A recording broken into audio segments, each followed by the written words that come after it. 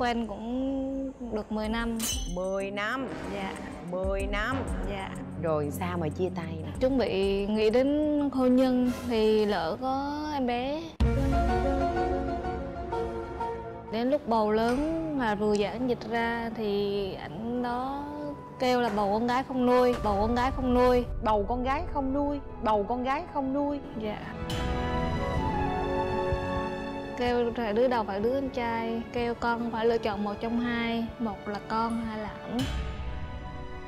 Một là con hai là ảnh.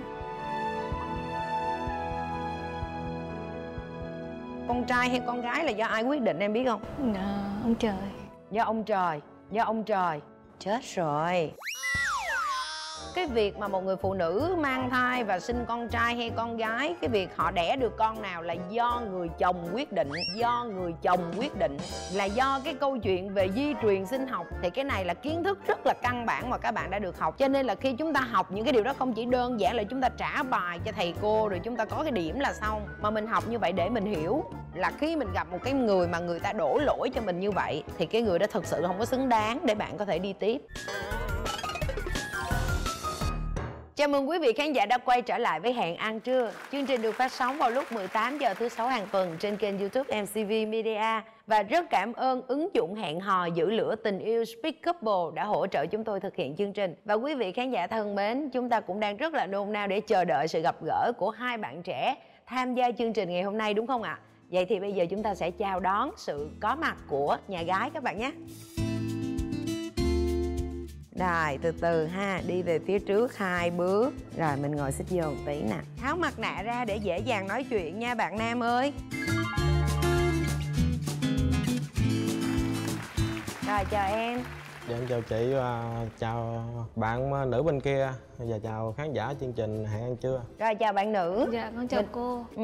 em chào anh bên kia. Rồi anh bên kia anh tên gì đi để người ta dễ xưng hô nè. Em là Quách Văn Kía. Quê em thì ở Bạc Liêu. À, Gia đình em thì còn mình anh em độc thân út trai út trong nhà. Dạ, dạ, Chỉ còn à, ba em ở nhà dưới quê. Mình là con trai út nhưng mà mình đang sống chung với ba má hay là đang sống riêng? Đang, đang sống chung với ba. Ba thì cũng hơi lớn tuổi rồi. Ở dưới thì có chị hai cũng ờ, chị hai chăm sóc ờ, đỡ. Chừng nào cha mà có trăm tuổi già thì ờ, đi tới tới đi lui không tiện thì em phải về. Em À ở đây em làm. Nhà mình Ok. nhiêu anh em trai cậu út? Dạ em thì có hai em trai là chị hai là lớn nhất. Là nhà có ba anh chị em. Dạ. Rồi nhà mình ở Bạc Liêu là làm làm làm gọi là làm lúa hay là làm tôm hay làm cua? Dạ khu của em thì lúa với rau này kia thôi. Là huyện nào Bạc Liêu? Ở huyện phước long. À Phước Long khu đó nước ngọt rồi hen. Dạ Em Home, thiết kế xây dựng và thi công nội thất. Rồi mình sinh năm nhiêu nè? Dạ em sinh năm tám một chín tám chín. 89 là mình tuổi con gì?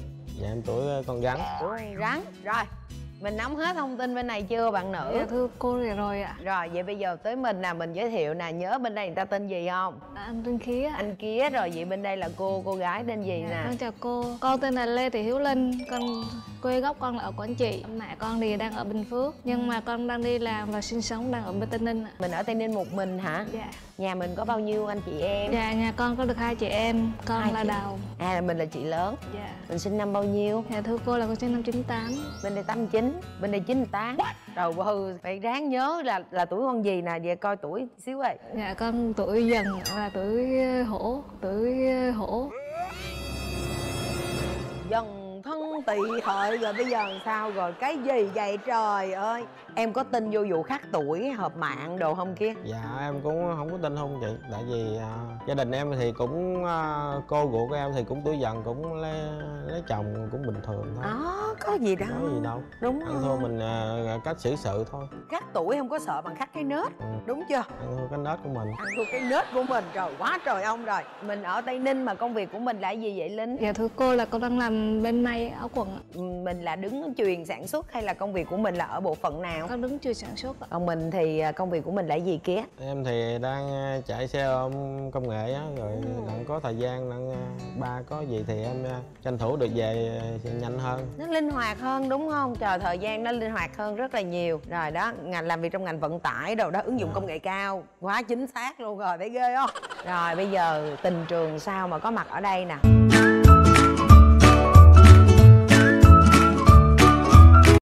con thì có một mối tình cũng quen cũng được 10 năm. 10 năm? Dạ. 10 năm? Dạ. Khoan năm nay mình nhiêu tuổi? Dạ con thưa cô con sinh năm con 25 tuổi. Năm nay 25 mà có một cái cuộc tình 10 năm. Mà chắc chắn là cuộc tình đó bây giờ phải kết thúc rồi mới ngồi ở đây chứ. Vậy là lúc đó mình nhiêu tuổi mà mình yêu Linh? À, lúc đó con mới 12 tuổi. Mười mấy à, 12 tuổi. 12 tuổi. Dạ, lúc đó là con vừa nghỉ học thì con đi chùa thì tình cờ gặp anh đó và làm bạn thôi.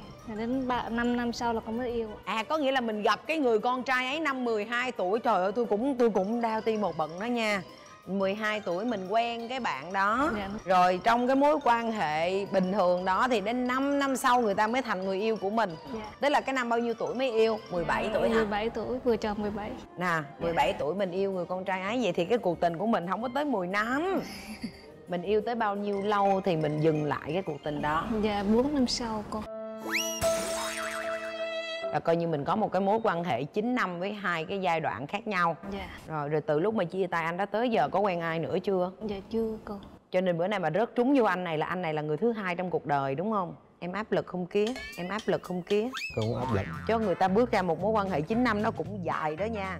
Rồi sao mà chia tay nè? Tới lúc mà hai bạn con hợp với nhau thì chuẩn bị nghĩ đến hôn nhân thì lỡ có em bé. Thì lúc đó chúng vào đại dịch covid 19 nên là không có cưới hỏi được. Thì đến lúc bầu lớn mà vừa giãn dịch ra thì ảnh đó kêu là bầu con gái không nuôi bầu con gái không nuôi. Bầu con gái không nuôi bầu con gái không nuôi. Dạ. Kêu phải đứa đầu phải đứa con trai kêu con phải lựa chọn một trong hai một là con hai là ảnh. Một là con hai là ảnh thì con lựa chọn con của con nên là anh bỏ hai mẹ con đến giờ. Ảnh thì kêu em chọn hoặc là con hoặc là ảnh. Dạ. Vậy thì ảnh chọn cái gì? Anh không có chọn. Anh nói kêu con là một hoặc hai hai là, là là không có đến nữa. Vì sao mình quyết định chọn con của mình mà mình không chọn cái người đàn ông đó? Đà Lạt Miêu hoàn toàn tự nhiên. Con nghĩ là con của con là sống với con suốt đời được. Còn mà anh đó chưa chắc sống với mình suốt đời được chưa chắc sống với mình suốt đời được. Nhưng mà em đánh giá như thế nào về cái người con trai mà khi nói với mình rằng là thứ nhất là phải chọn giữa con với ảnh và cái thứ hai đó là bầu con gái thì không nuôi? À, con nghĩ anh đó tính gia trưởng. Họ ơi, mình dùng cái từ tính gia trưởng nghe cho nó sang sang vậy thôi. Chứ thiệt ra đó là một cái người không có hiểu biết luôn á vì sao em biết không? Bởi vì bây giờ một cái người phụ nữ mà người ta mang thai con trai hay con gái là do ai quyết định em biết không? À, ông trời. Do ông trời do ông trời. Chết rồi. Chết rồi. Bởi vậy bởi vậy ông trời đặt đâu thì chịu đó là đúng rồi đó. Cái việc mà một người phụ nữ mang thai và sinh con trai hay con gái, cái việc họ đẻ được con nào là do người chồng quyết định, do người chồng quyết định. Là do cái câu chuyện về di truyền sinh học là người chồng, người cha là cái người quyết định trong cái câu chuyện đó là tạo tác ra một cái bào thai là con trai hay con gái dựa trên các cái thông tin về di truyền, về ADN về nhiễm sắc thể. Thì cái này là kiến thức rất là căn bản mà các bạn đã được học ngay từ hồi trung học cơ sở luôn ấy. Cho nên nên là khi chúng ta học những cái điều đó không chỉ đơn giản là chúng ta trả bài cho thầy cô, rồi chúng ta có cái điểm là xong, mà mình học như vậy để mình hiểu là khi mình gặp một cái người mà người ta đổ lỗi cho mình như vậy, thì cái người đó thực sự không có xứng đáng để bạn có thể đi tiếp ừ rồi nhưng mà thôi thì đó là quá khứ ha. Vậy thì à, bây giờ em bé là đang ở với ai? Con đang gửi ở cho ông bà ngoại. À Dạ. là đang ở bình phước. Dạ. Vậy thì em ở tây ninh là em ở một mình. Dạ. Công việc của mình hiện giờ là tốn nhiều thời gian không? Công việc của con là là bên khâu xuất hàng. Nên cũng có lúc cũng một tuần tăng ca ngồi xuyên. Là mình cũng rất là ít thời gian để có thể ờ, đi đây đi đó. Ừ, riêng tư hẹn hò đúng không? nếu mà yêu ai đó thì con sẽ sắp xếp được công việc à nếu yêu thì sẽ sắp xếp công việc. Rồi giờ sương sương vậy rồi sao? Giờ nó thả lỏng ra nè sao căng thẳng dữ kia rồi tình trường của mình thì sao? Dạ thì em ờ, cũng có ba mối tình. Tình ờ, đầu thì em cũng có tỏ tình nhưng mà người ta cũng từ chối rồi. Sao vậy? Đánh em thì ờ, thương thì em nói thương à không Ờ. thì em nói không. Mà, mà một lời thì dứt khoát cho dễ. Sao mà người ta không chịu biết không? Người ta có nói cho mình nghe lý do người ta từ chối không? Không không luôn. Dạ tại Năm vì đó mình tự nhiên tuổi? như như dạng là em ờ, thương thầm vậy đó. Là thực ra có nói không?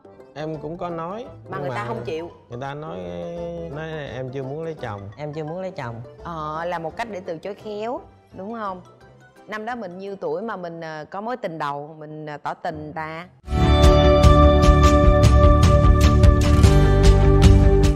hai ba tuổi rồi. Ờ cũng ờ, được rồi 23 tuổi rồi cũng được được dữ rồi đó. Rồi sau đó là bao nhiêu lâu có thêm cuộc tình thứ hai? Khoảng uh, 2 năm đó à. thì uh, cuộc tình em thì cũng uh, dạng thương thầm thôi. Rồi sao suốt ngày ông đi thương thầm người ta không nói vậy? người mình thương cái gì mà nó ồn ào lên đi. từ chối vậy đó cũng nói cười thì cũng nói nhưng mà cái người ta từ chối cũng nói cái- mé mé vậy đó. Dạ rồi rồi cái cô thứ hai cổ từ chối cổ nói làm sao kia? Cô thứ hai thì ờ, cũng nói, à, nói coi anh là chỉ là anh thôi. Là em cũng biết rồi đó là em cũng biết rồi đó. Rồi thì cũng ờ, qua lại nói chuyện thời gian rồi rồi tới người ta đi lấy chồng rồi thôi. Anh tiếc cái công lao đào ao thả cá. Có thả được miếng mồi nào nuôi cá đó không không đúng không? Chỉ có mối tình cuối thì rồi vô mối tình cuối. Thì thương hơi sâu đậm với một chút. Mấy năm? Không được một năm nữa. Không được một năm luôn. Ừ, cũng thương người ta nói này em bày tỏ hoàn cảnh cho người ta biết á. Rồi cái đầu người ta cũng nói này nói kia nói ờ ờ rồi người ta em nói nếu em đồng ý thì cho anh cái hẹn cưới. Nhưng mà cái đầu nó nói một năm hai năm hay ba năm. Sau một thời gian cái nó nói ờ, ba năm đi rồi sau ăn tết xong, cái nghỉ nghỉ liên lạc luôn rồi. Nhắn tin là chia tay với em luôn. Cái năm đó là em còn nhớ là em buồn dữ dằn, về quê là em nhậu dữ dằn luôn. Rồi tự nhiên buồn cái đi nhậu ờ tự nhiên cái năm đó nhậu cái em qua tết em suy nghĩ lại. Suy nghĩ thì sao nè? Nó nói có gì đâu bình thường thôi buồn bao bữa thì mình tỉnh lại. Thì cũng có gì chuyện gì cũng qua thì cũng qua thôi. Ờ, cái năm ờ, thì chia tay với người yêu đó là năm em má em mất luôn. Mẹ em mất thì cái chị hai như như mẹ em vậy đó thì em bàn cũng bàn với bả cho cha em thì ổng hơi khó một tí nhưng mà ổng cũng thương em. Cái cái về bàn chị hai rồi bàn cũng mấy người kia. Rồi chứ chị nuôi bà nói cho tao coi cái người này á là coi không có được ở đó mày coi lại đi.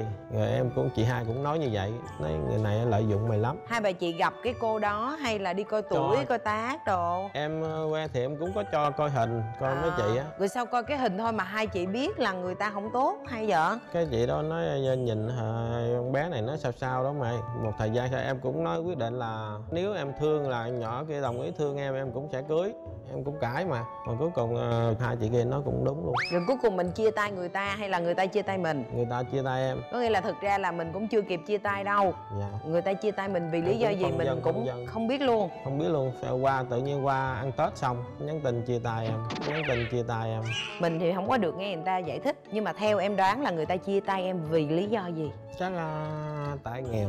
Chắc là tại nghèo. Còn khóc chi em thôi buồn. Nghèo vậy sao ờ, hai ờ, người chị nói là người ta yêu mình người ta lợi dụng mình. Tánh em á thì ờ, đó rộng rãi lắm. Thì có tiền nhiêu bung hết ví dụ ờ, mua này mua kia thì em vẫn mua bình thường. Rồi em kể hoàn cảnh em cho biết vậy đó. Rồi cái đầu qua tết cái nhắn tin chia tay em luôn. Tức là bạn đó về nhà mình chơi lần nào chưa chưa chỉ ở trên thành phố này thôi. À chị có biết sương sương vậy rồi thôi chia tay luôn. Dạ rồi em cũng không nói cho ba em nữa. Nói cho ông buồn rồi ông cứ hối hoài cứ nói cưới này cưới vợ đi cưới vợ là đi. ba đang hối cưới vợ đó đúng không? Rồi từ bữa chia tay cô thứ ba tới giờ là bao lâu rồi nè?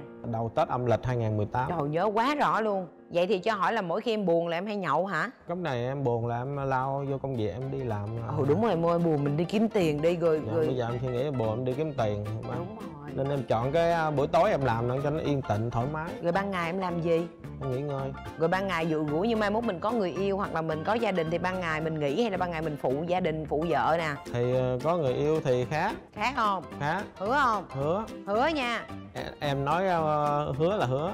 Nói hứa là hứa nha rồi bây giờ chị hỏi nè em nghĩ làm sao về chia sẻ của linh với cái mối tình trước đó? Và bây giờ là bạn đó đang có một em bé đó thì à, điều này nó có làm cho em ngại ngần băn khoăn gì không? Cái vấn đề có em bé thì ờ, em nói chung là em cũng thích thích ờ, bé gái nhiều hơn. Nhưng mà mình nghĩ là mình bao dung được không? Thì em có thể bao bao dung được nhưng mà băn khoăn gì? thì em cũng nói em là con trai út á. Ừ.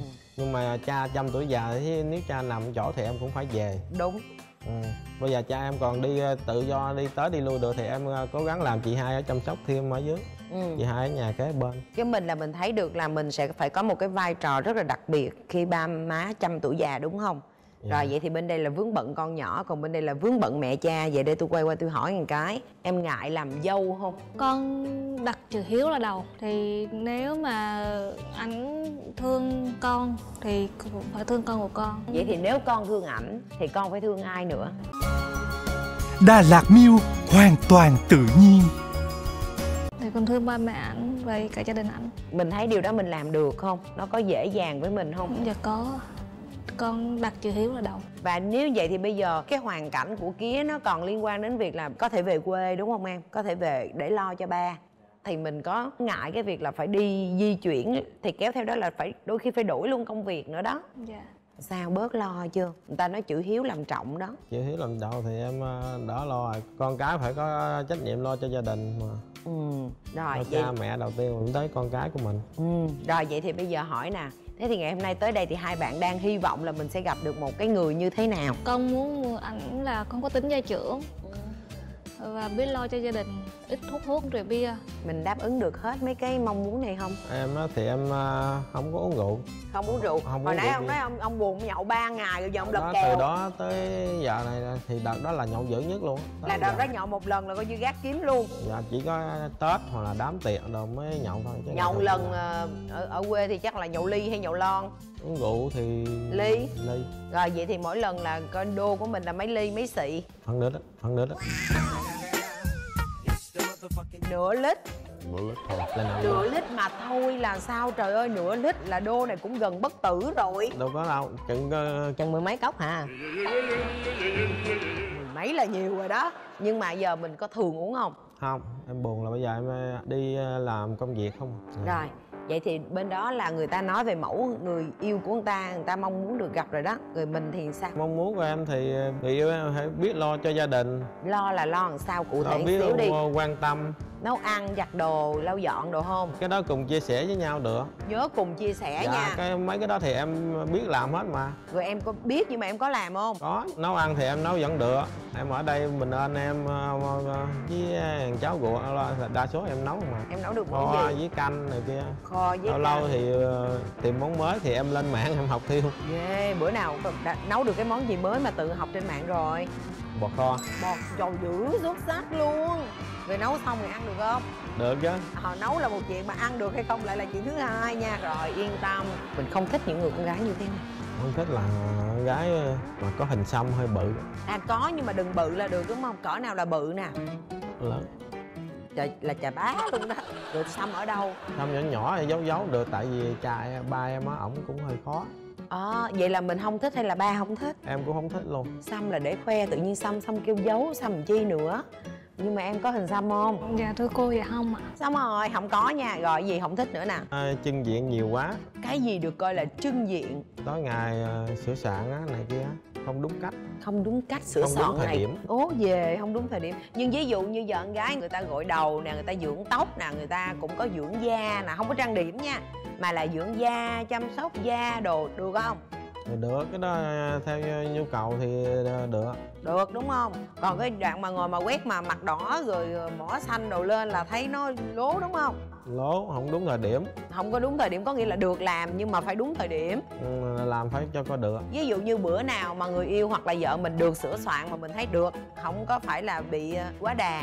Đi đám tỉa đi kia. đám sửa soạn đúng cách đi đi chơi này ừ. kia còn phải đám gì nữa nha không phải cái đám nào cũng sửa soạn ô về tới được đâu nha rồi và các bạn thân mến nãy giờ thì chúng ta cũng đã lắng nghe nhau nghe thông tin biết công việc biết hoàn cảnh rồi ha Vậy thì bây giờ các bạn sẽ cùng tham gia một cái thử thách do ứng dụng hẹn hò và giữ lửa tình yêu Speak Couple đặt ra. Đó là các bạn sẽ nhìn một số những cái hình ảnh được cung cấp trên điện thoại và mình nghĩ xem là nãy giờ mình đang nói chuyện với ai thông qua cái ô cửa tình yêu này.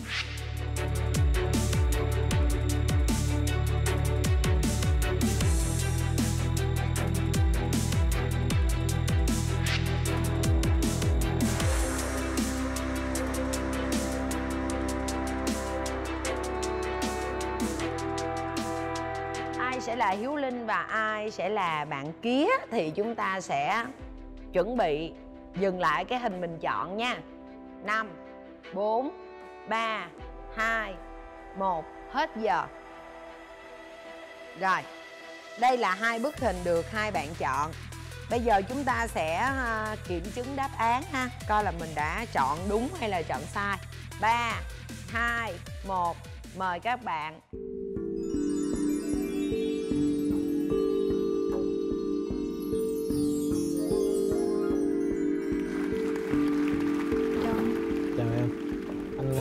Em cái món quà này. Dạ em cảm ơn chúc em đi vui vẻ nha dạ dạ. Với cành bông. Dạ.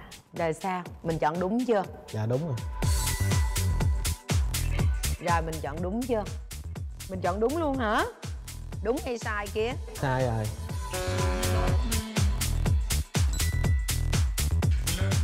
rồi giờ cảm xúc của mình khi gặp được bạn ấy ở bên ngoài thì thấy như sao nè? Thấy cũng ờ, bất ngờ thì người phụ nữ ờ, nào thì cũng ờ, điều quan trọng đến ờ, gia đình thì một điều tốt. Em cũng thích ờ, cũng muốn tìm đến người phụ nữ như vậy. Cảm xúc của mình khi gặp bạn này thì sao nè? Dạ em thấy ảnh đó biết lo cho gia đình. Ờ. dạ, không về hình ảnh bên ngoài rồi sao ngoại hình rồi thấy như sao? Thấy được bạn cái hạp hạp gu chưa? Dạ được à, rồi vậy thì ngay sau đây các bạn sẽ có một cái khoảng thời gian riêng tư với nhau để có thể dùng bữa trưa và chị sẽ quay trở lại trong ít phút nữa thôi. Dạ, anh chạy công nghệ bên hãng nào? Anh thì anh bên ờ, Grab á. Dạ. Grab thì anh ờ, chạy 5 năm nay rồi thì anh cũng có chạy thêm công ty khác nữa. Dạ. Rảnh có thời gian thì anh giao thêm ở ngoài. Dạ anh có thời gian về lo cho ba ba ông thì cũng lớn tuổi rồi. Dạ. Hai bác bản là lớn tuổi cho em. Ba mẹ em sinh năm 76 cũng còn hơi, hơi, hơi trẻ. Dạ em muốn kiếm người nào đó biết cứng rắn, đứng giữa đứng giữa cha mẹ và giữa người yêu hoặc là vợ thì biết đứng ra đối xử, chứ đừng có nghe về một bên. Anh trước khi ấy thì anh cũng phải tìm hiểu kỹ như thế nào, coi là người đó nói, thí dụ như vợ mình á, coi người đó nói vợ mình như thế nào rồi anh mới xem xét. Nhiều người anh mới mới nói thôi. Có nên từ bỏ công việc ổn định để theo chồng đến nơi khác không? Ví như nếu công việc bên anh ổn định biết lo được ừ, cuộc sống gia đình thì em sẽ ừ, theo anh. Còn ngược lại thì ừ, sao anh? Anh thì anh không có gia trưởng nhưng mà anh tánh anh thì không có ở rể đi út út chứ ba anh cũng có nói là cưới vợ đi rồi về mình cũng đi làm đi làm. Ờ, làm ở đâu mình có cơ hội mình phát triển thì mình làm. Rồi à, 300 tuổi già thì về chăm sóc. Dạ. Vậy thôi. Em đọc câu hỏi là yêu xa làm sao để giữ mối quan hệ bền chặt? Đối đối với anh yêu xa là anh thua mình à, thương nhau thật lòng hay không? Anh cũng coi phim nhiều thấy người phụ nữ bỏ đi lấy chồng cũng nhiều lắm bây giờ anh cũng hơi sợ như vậy. Em thì yêu xa thì em nghĩ là không có quan trọng. Rồi nếu mà lát nữa hai đứa bấm đèn và hai đứa nghĩ là mình sẽ hẹn hò dạ. thì em có nghĩ là em đổi công việc lên thành phố Hồ Chí Minh không dạ được ạ. Tại vì ở thành phố Hồ Chí Minh này công việc mình ờ, nó thuận tiện nhiều hơn ừ, ở em đang ở quận mấy dạ em ở quận 7 này quận luôn. 7 mà quận 7 thì có rất nhiều khu công nghiệp. Trong khi đó công việc của mình là có thể dễ dàng tìm được. Rồi và ngay bây giờ thì chị sẽ có một cái thử thách dành cho linh. Em cũng biết là công việc của kía là đi ngoài đường rất là nhiều. Dạ. Khói bụi nó sẽ bám vào người rất là dễ dàng ha. Vậy thì bây giờ mình giả định là cứ cho như lát nữa hai bạn bấm nút để mình à, mình hẹn hò với nhau đi thì bây giờ là mình cũng cần phải chăm sóc người yêu của mình khi mà anh đi làm về rất là mệt, đúng không? Rồi, thì bây giờ thử thách dành cho em đó là đó, bây giờ cái người đàn ông này đi làm về mệt quá rồi ngồi sải lai trên ghế, không có làm được cái gì. Rồi bây giờ mình qua mình lau mặt, lau tay mình hỏi thăm coi là hôm nay anh đi làm có mệt không này kia kia nọ, ha. Rồi, để mình coi là mình ừ, lát nữa mình nên chọn không?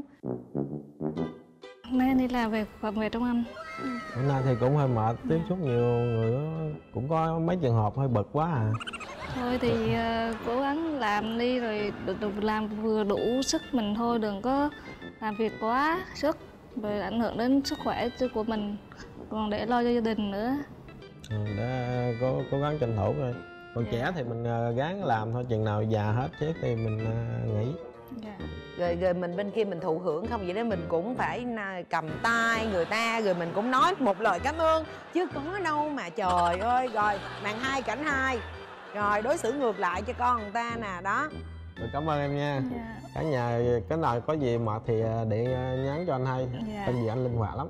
Đó trời ơi thích cái câu này nè. Cho anh hay công việc anh linh hoạt kiểu gì em cũng có mặt. Rồi cảm ơn lên em về chỗ. Nếu người mình phải có đối xử qua đối xử lại rồi chứ rồi, thực ra thì cái thử thách vừa rồi á, là nó cũng chỉ làm cho các bạn có thể à, có những cái tiếp xúc với nhau. Chị vẫn muốn nói rằng là ngày hôm nay mình gặp ở đây á, là một cái duyên.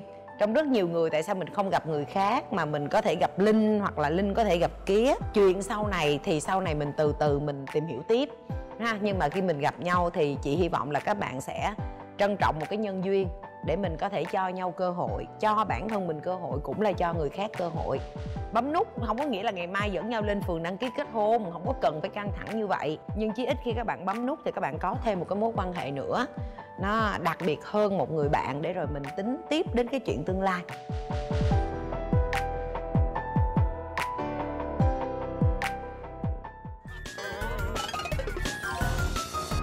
Và ngay bây giờ thì các bạn sẽ đưa ra quyết định của mình Và để không bị ảnh hưởng bởi người còn lại Thì các bạn vui lòng nhắm mắt Và chị sẽ đếm ngược.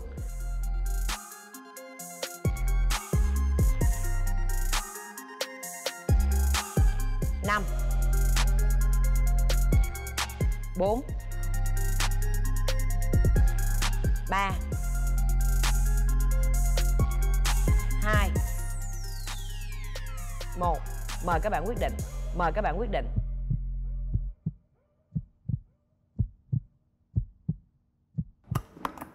Wow dễ thương quá.